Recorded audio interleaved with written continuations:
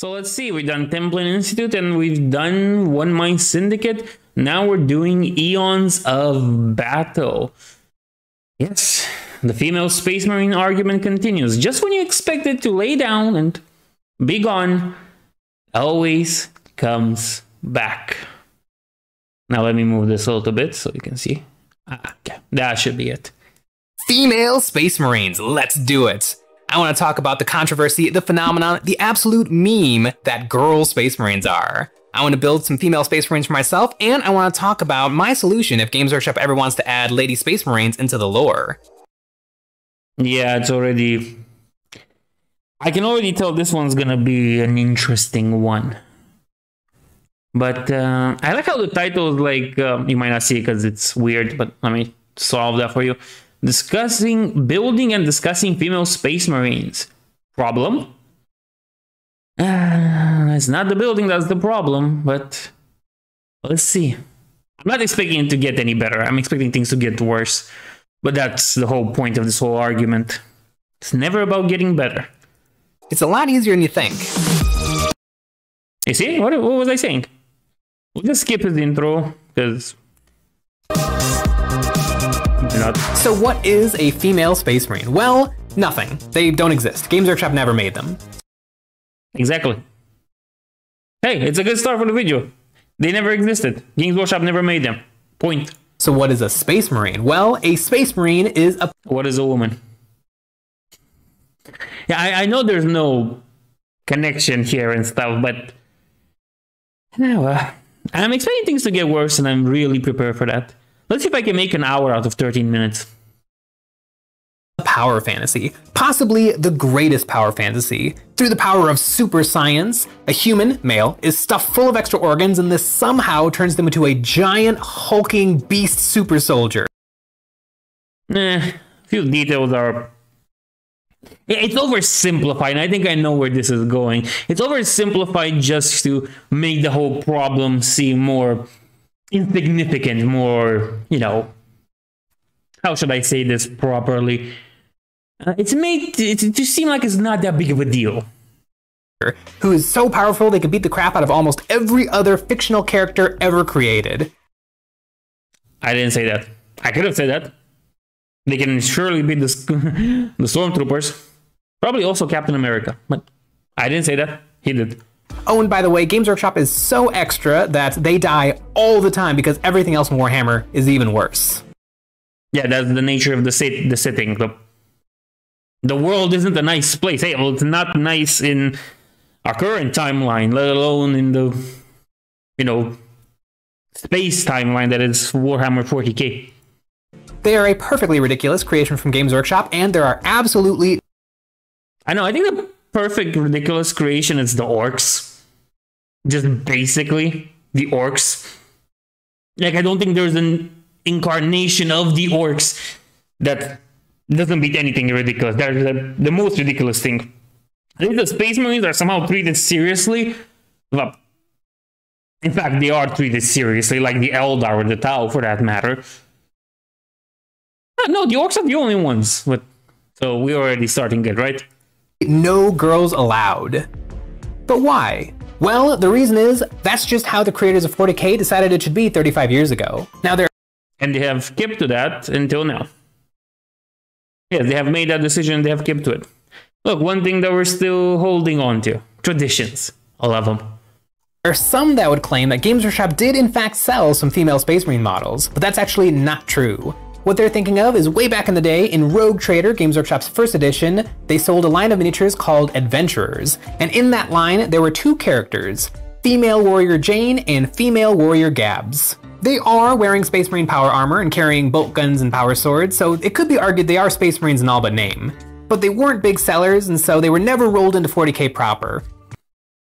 He, he, surprisingly, he does make an interesting point. He does. He, he's not going for the oh they existed in the past and they didn't so those whole lies that Alan Merritt would just contradict himself later on.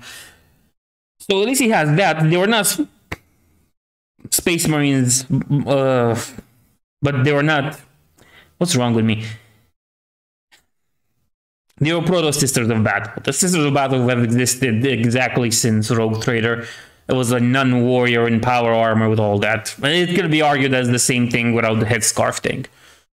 And, well, it kinda is the same thing. Proto Sisters of Battle, if you may call them that.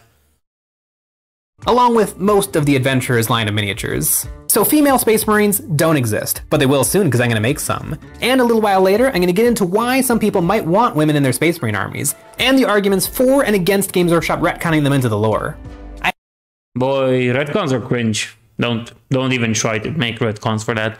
Retcons are just cringe. There's no yeah, retcons. Awful.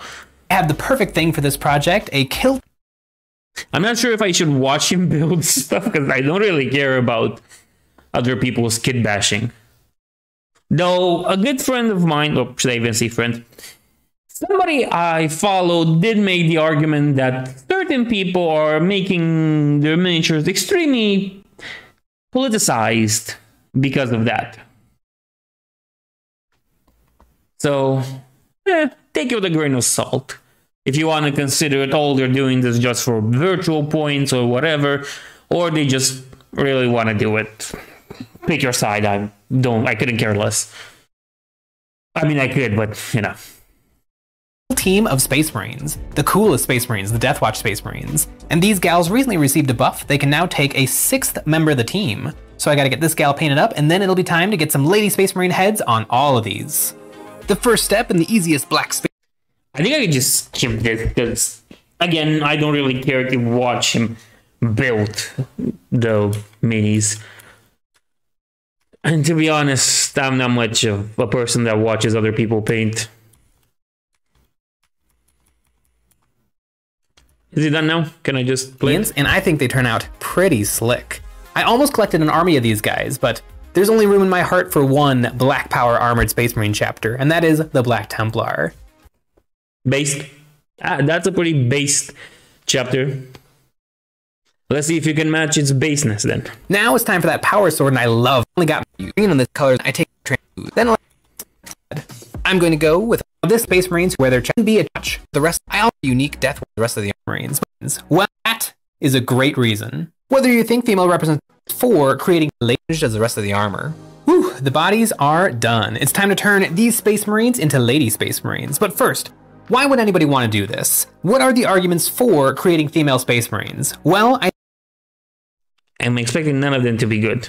But let's see. I think the best and most important answer is because you think it'd be cool. That is a great reason. Whether you think female representation is important, more diversity might give you more painting and modeling opportunities, or you just want some power clad babes to simp over, I think it's fine. Because it's cool is the only excuse you need to do whatever you want to your miniatures. So what It's your money, you're wasting it away. I said that before. I think I said it during the Templin Institute thing and also when I responded to One Mind Syndicate. It's your money, you can wash it away however you want. At the end of the day, it doesn't really affect me or other people that are in it.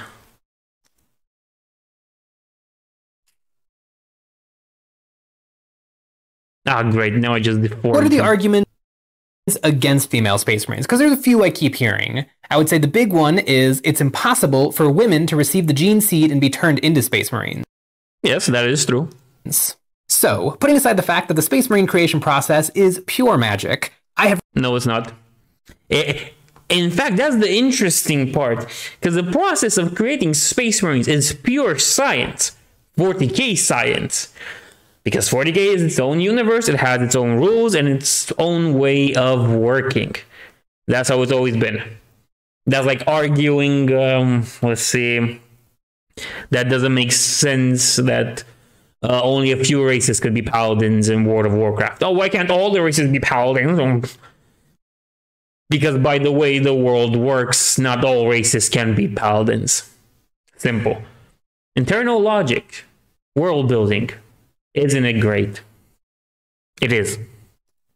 I've read every single Space Marine Codex ever published, and nowhere does it actually say it's impossible to give the gene seed to women, only that it's only been given to men. Do you want me to get the great book? You know what? Let's pause this for a minute. So I'm back, and I got the great book sitting right next to what was it? I have some books in Romanian. To the Prince by Machiavelli and To Letters to Lucilius by Seneca is the greatest book of all. Warhammer the Horus Heresy, Age of Darkness. And let's see what it says here at page 31. The process of initiation. The process by which space marines are created relies inherently on the hormonal and biological makeup of the human male meaning that only males can be subjected to the transformation. And that's all the proof you need that's only males. And sure, you could say that because it's only been given to men, it's impossible to put it in women, but allow me to quote the lore. A quote from my man, Malcador the Sigillite. Oh, really? It's gonna be the awful one, right? Uh, you know what? Points given you have brought up Malcador and his dumb quotes, Dorn. Who am I? I'm the greatest. Who am I? I'm getting paid. Who am I? I'm Malcador smiled. You brothers, such a nest of rivalries. I warned him, the Emperor, to make you sisters, that it would make things more civilized. He thought I was joking. I wasn't. That quote means nothing. Remember, I just quoted the great book, the greatest of them all. Malcador just thinking he knows better than the Emperor doesn't prove a thing. In fact, Malcador did not know better than the Emperor. A hero as he may be, he did not. If the Emperor's BFF and the smartest human to ever exist in all of 40k says it would have been possible to create female Primarchs, then certainly it is possible to create female Space Marines. No, not. The process is entirely different. Space Marines are based on their Primarchs.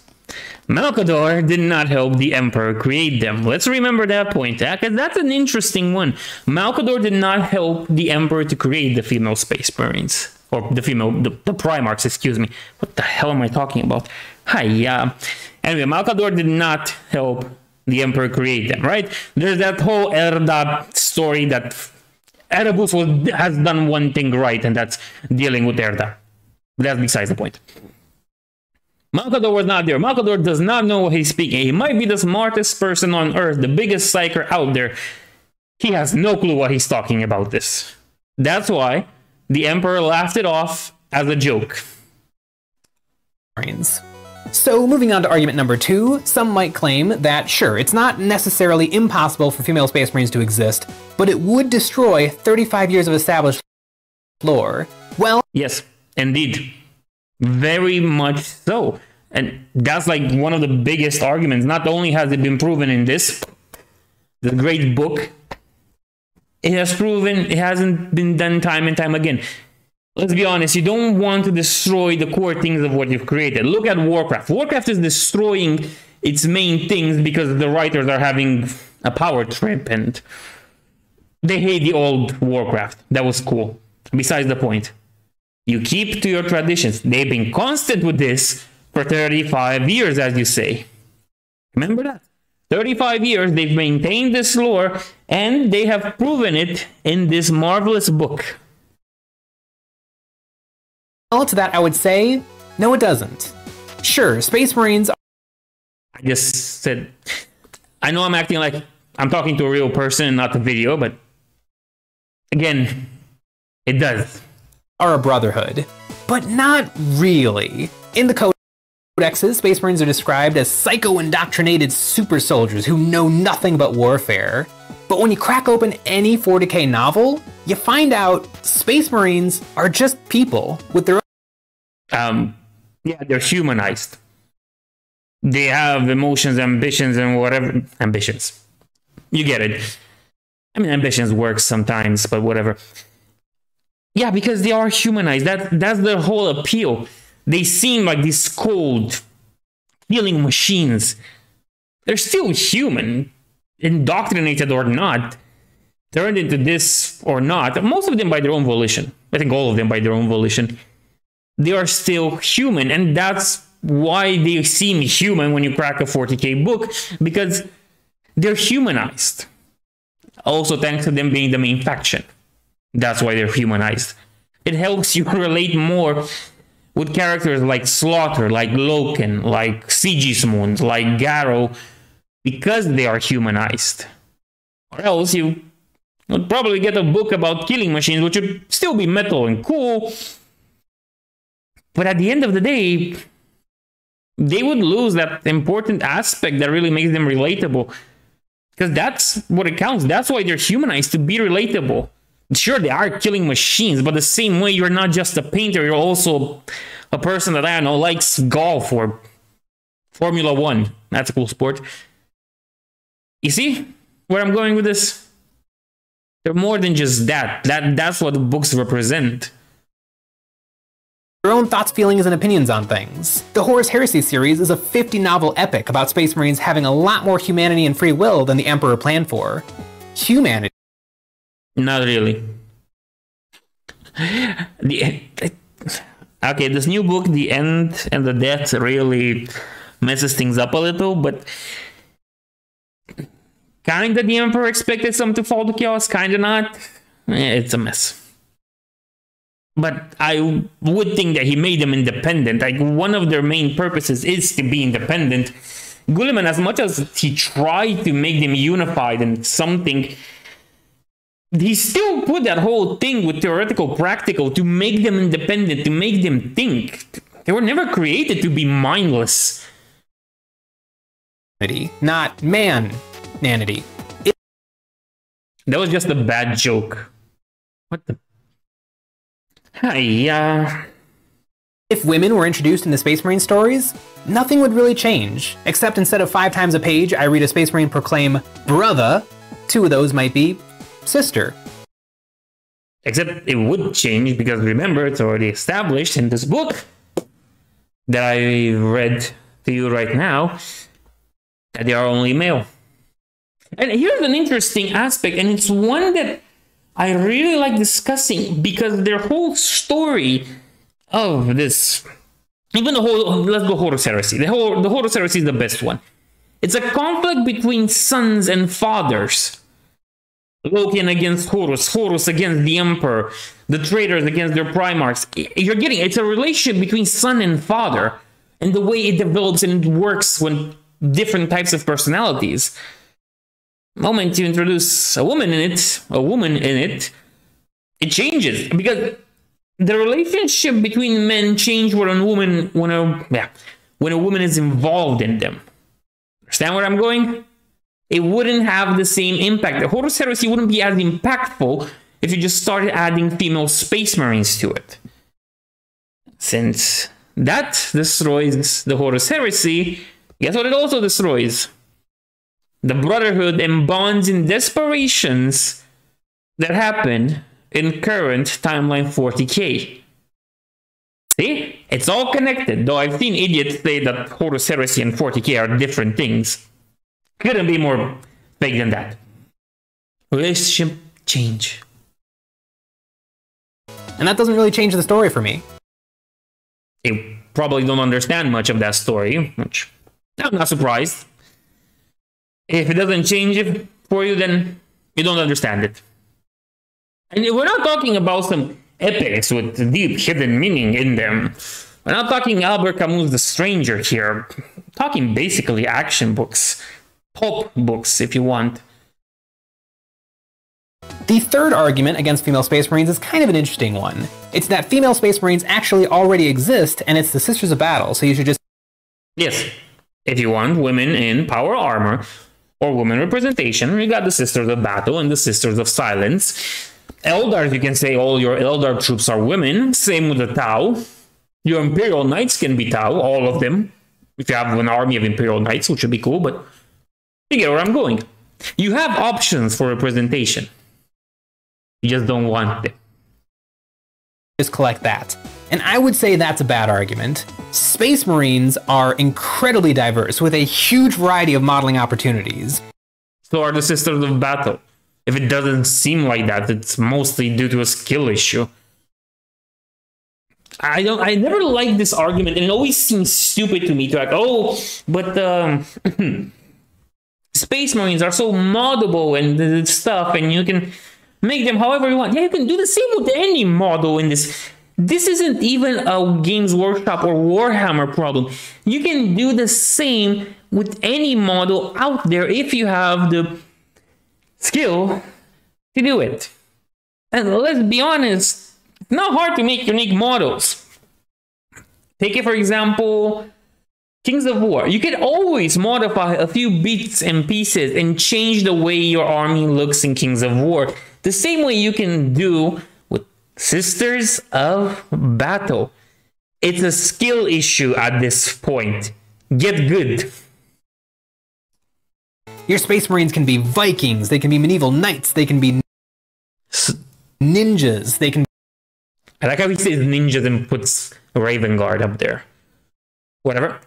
So can your Sisters of Battle. You just have to want to do it. Be blue, they can be vampires. Where if you want to collect the Sisters of Battle army, unless you want to kit bash and convert 90% of your miniatures, they're going to be corseted ecclesiastical babes with bob cuts. I mean, blame World Games Workshop for the bob cuts. Though it does make sense why they're white haired. or why you would make them white haired. But yes, you can convert your army. Good thing. Bravo. Now most of the armies look kind of the same. Here's the biggest problem. Even Space Marines are becoming uniform as uniform, whatever. They're all starting to look alike. Thanks to the Primaris. But the Primaris are an issue that we'll discuss at a later date, another time. On a better day, shall I say. Again, we're in the same position. Kit bashing, sculpting. You still need to do that to make your Space Marine army unique, thanks to the fact that all Primaris work on all chapters. And the specific models for each chapter are getting less and less out there. Take a look at the best tactical squad box that Games Workshop ever made. The Blood, Mar- Blood Marines, the Blood Angels tactical squad. It was an amazing box, and out of that box, you could have made yourself normal, regular Space Marines, and you had enough beast, bits and pieces to make uh, what was it called again? I forgot. The whole thing where they put them in the Black Rage. uh, shows how big of a Blood Angels fan I am. Well, the, those death squads. I'm just gonna call them that. Right now, this is the problem that plays Games Workshop overall. It's not only related to the Sisters of Battle. So again, skill issue. And I can totally understand somebody saying that they want women in their armies, but not that. So with all that said, should Games Workshop bite the bullet and introduce female Space Marines into 40k? No. I'll get to my thoughts on that, but first I want to finish these Space Marines, and I had a heck of a time finding a pro- It's a good marketing strategy. You see it on most people that want to sell you stuff. Especially people on YouTube that uh, want to sell the key to success to gain 100,000 subscribers. Oh, and other stuff like that. It's a marketing ploy, but what can I say? appropriate heads. Regular human heads from Games Workshop are plentiful kit bash fodder, but unfortunately are way too small for Space Marines. Leagues of Votann heads are actually close bad a battle down from under then tan. They were looking them so they and I care. did a little more started in the last end. Big old forehead, big old cheekbones, stretch those highlights all the way to the ears, and then get darker the further up and down you go. On these faces, try to make them look a little bit more feminine. I and the chin. Well, that was anything for the ball ears. Probably the best bases. Necron Tomb World bases. I prefer month. Perfect for all the Necron is left. Neck pointing up the legs. The they have big. The perfect. Not officially can't just shoehorn women into the Astartes. Or another kill team done. This might be my favorite kill team. Certainly my most unique kill team. These ladies are the perfect kill team. In fact. They're all bald. They're all bald with that man cut. fact, the Death Watch called their squads of Space Marines kill teams. Buzz cut, I think it was called, yeah. They're all bald with the bus cut. My ladies are not officially canon the way that I've made them, more just a fun novelty. And you know what? I don't think Games Workshop should just shoehorn women into the Astartes randomly after 35 years. It'd feel too easy and not give this achievement the prominence it deserves.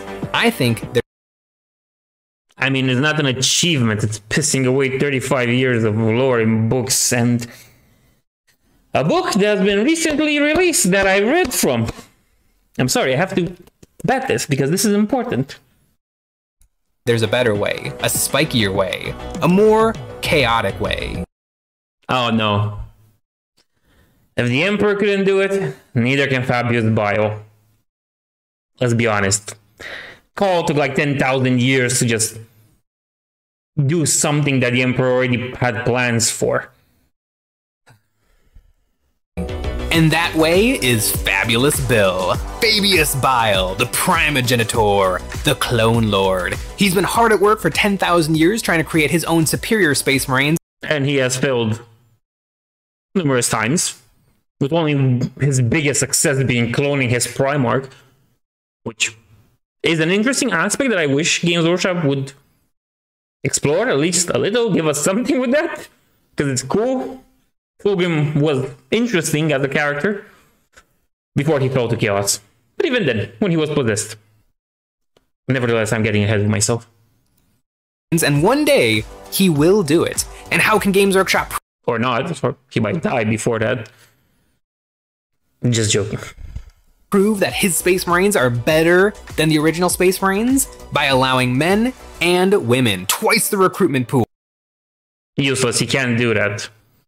As much as you try, the science isn't there, and Fabius Bile does not have the mind of the Emperor or his abilities to do that. You see? He lacks everything that the Emperor had. The Emperor couldn't do it, so neither can Fabius Bile. It's logic. Right? If Arnold Schwarzenegger couldn't lift, uh, let's say, a truck and do squats with it on his back, what makes you think you can do it? Exactly. Skill issue. Cool. His super people would swarm across the galaxy and bring the Imperium of Mankind to its knees. Okay. Cringy chaos edge boy. Chaos Space Marines aren't burdened by the ideas of honor and tradition. All they care about is No, but they're bound by the rules of the universe that already say no. Power. And if Games Workshop wanted to bring women into the ranks of the Astartes, I think that is how they should do it. And us hobbyists still have the option to hobby however we want. It was awful. I'm gonna be honest, it was awful. Tremendously so. But there's a but here. It was awful, it makes no sense in uh, lore. But it wasn't as bad as the Templin Institute. At the end of the day, the Templin, I don't think that somebody can be worse than the Templin Institute. Well, I already have two people in mind, but that doesn't matter. It wasn't as bad as the Templin Institute. Still wrong. Everything. Though he has some correct points that he mentioned, at least he didn't fall for, oh, female space marines always used to be a thing and then they were a rogue trader, but it didn't sell. No. Sisters of Battle. It even writes sister on their base thing, um, on their thing that ge- goes into the base that's glued to their legs. Sisters of Battle. That's it. Yeah, it's still a horrible argument at the end of the day. There's can't really bring them in. And sure, good games workshop piss on everything and lose millions in this. They could, but the same way the same way you know not to put your hand in the fire, so does Game Modes Workshop know not to burn themselves. Because they've tried that before and didn't end well. Not the female space marines, but burning themselves in the process. Remember that whole campaign for the Black Crusade? That was a doozy. So overall, no. There's no way to bring female space marines in. All arguments for it are baseless and really they make don't make much sense in the lore and the universe. Again, space marines are not created by magic, but by the science of the world. Everything's based on the world building. Because of that, the world has its own rules by which it operates. Thus, they cannot be, and there will never be, female space marines. I hope you like this. I hope you enjoyed it. I didn't, but that is what it is. I'm gonna make the call for liking, commenting, and subscribing, and, well, what can I say? See you in the next one.